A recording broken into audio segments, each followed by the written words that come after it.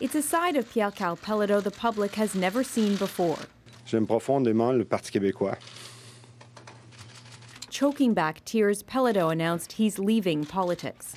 Un choix déchirant. He says he had to make a heartbreaking choice between his family and his political project.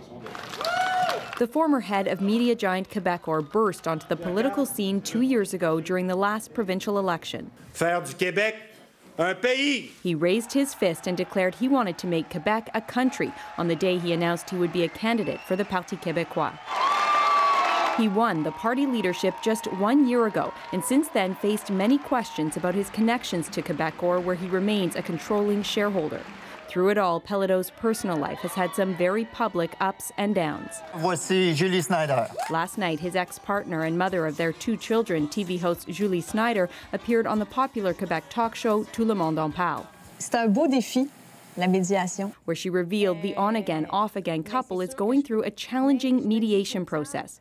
They got married last summer, but by January had announced their separation.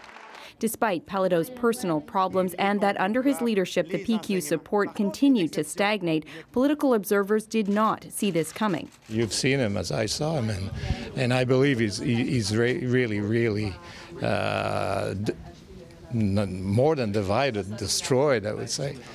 So uh, up to now, I see no reason to doubt that he's sincere when he says he's leaving for his family. Now the party goes back to square one. It will have to find another new leader and try again to rebuild. Alison Northcott, CBC News, Montreal.